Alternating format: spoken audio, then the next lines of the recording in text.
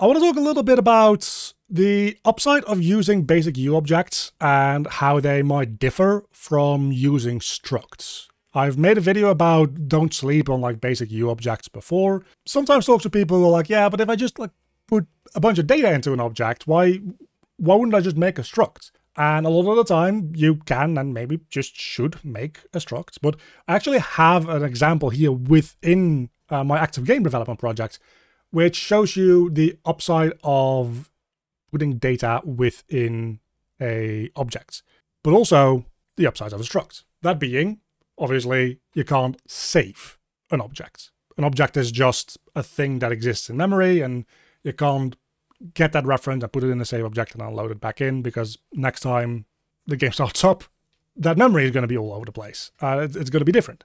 So what we do is I have a ability unlocking system in my game where I keep track of a couple of things, namely the ability that we're talking about, the first entry here, then the level of the ability, uh, the ability handle. If you're familiar with gameplay ability system, this should be fairly familiar. If not, it's not super relevant, uh, so don't worry about it.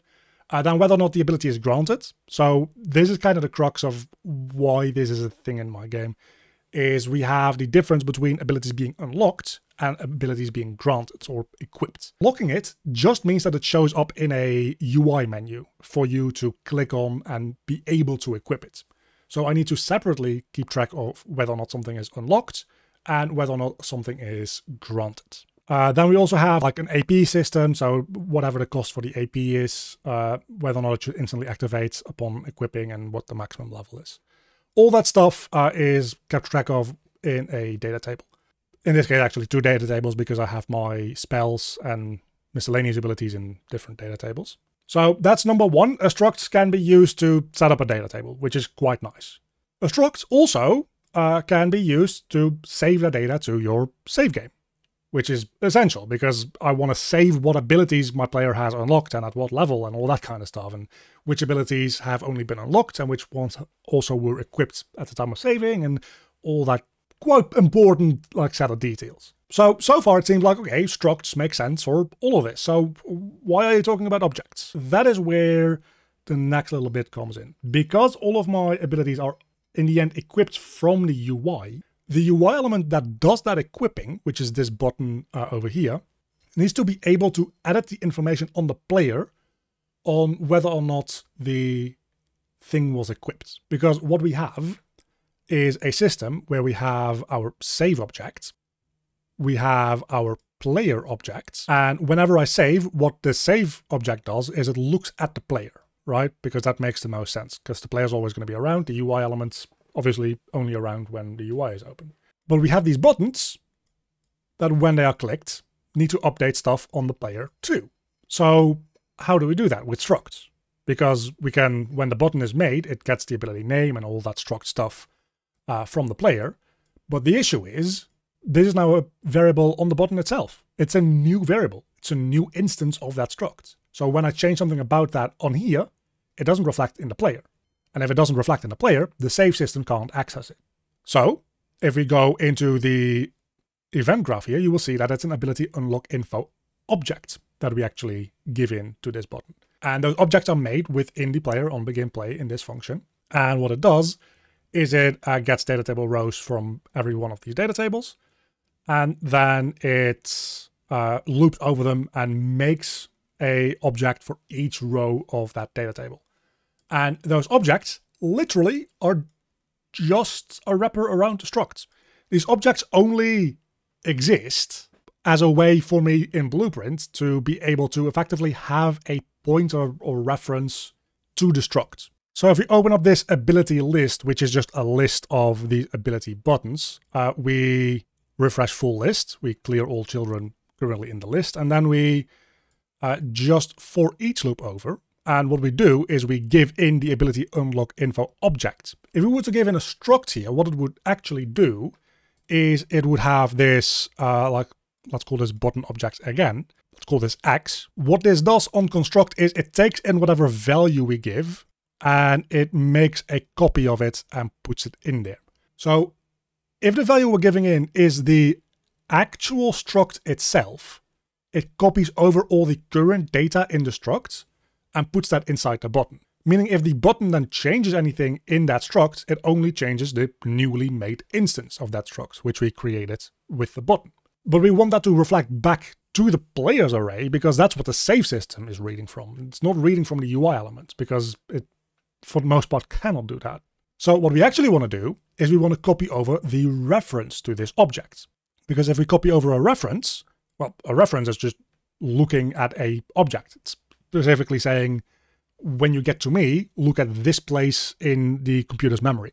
And copying over a memory address is still going to be the same memory address, but that doesn't matter because we're not actually changing the memory address, we're changing what's inside of that object. So this way, we suddenly can access the original values on the player's array from the buttons. Now, that does come with the caveat that the object shouldn't be deleted in the meantime, uh, but that same thing also goes for if you're just using the structs directly.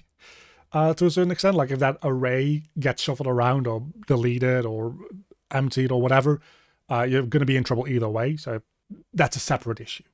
Now, in normal traditional code in C++, what you could just do is instead of copying this struct over, what you could do is you could make a struct reference variable, which is, let's denote that with a little star icon. And what that is, is effectively just a pointer back to the struct. So instead of copying over the value of the struct, what you would do is you would get the memory address of this and store that in the button.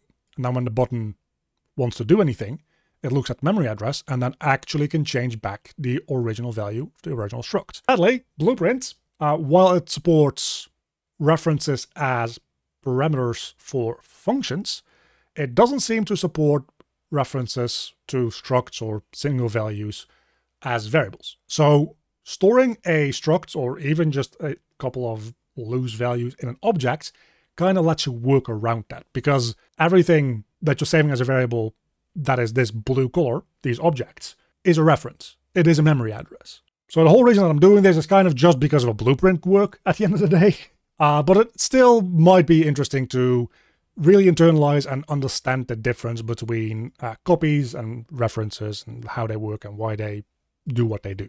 Hey, if you're enjoying this content and it's helping you out, please don't forget to leave a like on this video. You can also leave a comment on this video expressing what you liked or asking questions that I can cover in future videos. And then of course, if you want to stay up to date with those new uploads, make sure that you're subscribed to the channel as well.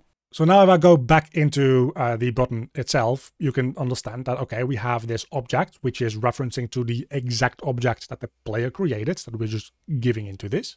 And then when we get the struct out of that and we set a member in that struct, this one is being done by reference.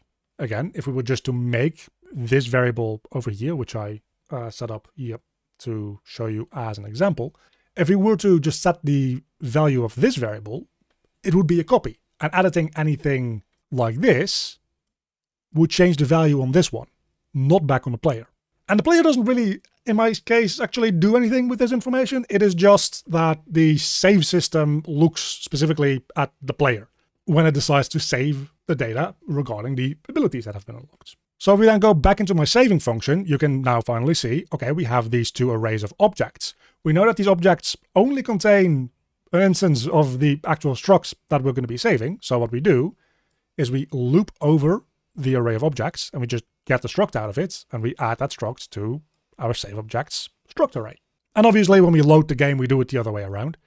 That's not like the most relevant thing right now. Uh, but hopefully me rambling on about all this has kind of shown you a little bit about structs and objects and what might be the upsides and might be the downsides of either or and the combination of using both of them together. Again, a lot of this comes down to quirks within Blueprint, uh, more so than it actually does. Ideally, what I would do is I would be able to go into this ability uh, list item and I would be able to go into this and say, hey, I want this to be a reference instead of a copy. That is just not a thing that we can do. So the way that I deal with it is just wrapping it in an object and suddenly that enables me to use it as a reference. And a very big thank you to all my Patreons. You can see them on screen right now. If you want to help support the channel or get any of the project files in any of my tutorials, there's a link down below to the Patreon page to support me or alternatively as a YouTube member. My Cave Students tier supporters, Oiku, Earl, Monserville Erno, and my Cave Digger tier supporters, Mauricio Farias.